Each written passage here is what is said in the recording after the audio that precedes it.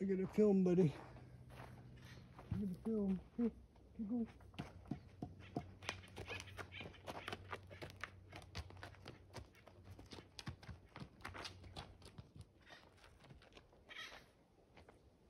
If you're wondering why I have the same workout clothes over weeks at a time as these, as I post these lessons is because I'm videotaping all the lessons in uh, one afternoon so I can kind of remember the sequence of what I've been teaching.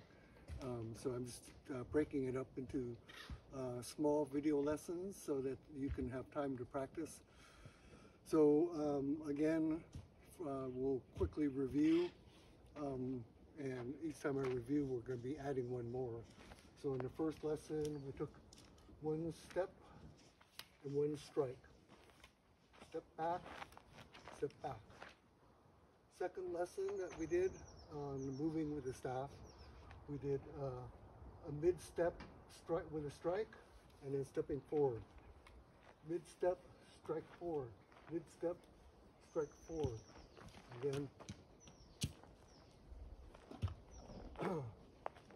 so it's like mid-step with a strike, step forward. Hey, hey, hey, go back. Adams wants to get in the picture here. So, mid strike.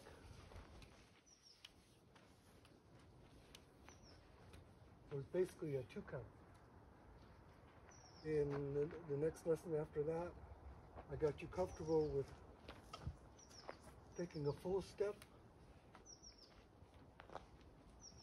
and striking on the opposite foot. So you're using, learning how to use basically counter torque.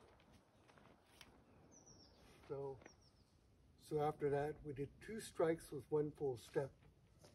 So one, two, one, two, one, two, one, two.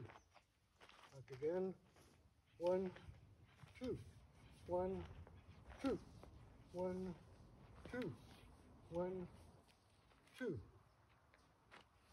So for this lesson, it's going to be a little bit easier because we're going to do three strikes and then a full step. And you're going to end up on the same uh, foot every time because you have like every other. So we'll start on the, on the same as if we were doing like in the very first lesson, the full count. Start off with left foot forward, left strike forward, and with a full step, you always end up on the same side foot, like that. So with a three count, it's going to be the same thing. So here we go. One, two, step, three. One, two, full step, three. One, two, three. One, two, three.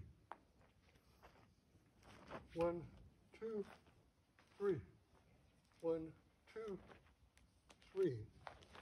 So you can see I'm ending up on the very same foot. So we start off same side, it's going to be one, two, and three.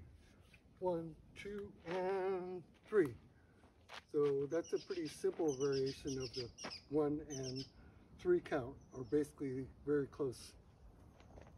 So that'd be that for today. And then next lesson, we're combine all of these into various uh, combinations. In other words, you're going to kind of flow between the different counts. Um, if you've been practicing over the, these uh, many weeks, then you should feel much more comfortable about flowing with the staff. And even though we're having to like break this down into counts and strikes and all that, again, as I said in uh, earlier, the last uh, couple of videos, it'll become more intuitive and you won't really have to think so consciously about it because you'll be able to do that strike no matter where you are in that stepping pattern. But in order to kind of like show the various uh, movements that go along with the staff, I've had to break it up into these uh, so-called combinations.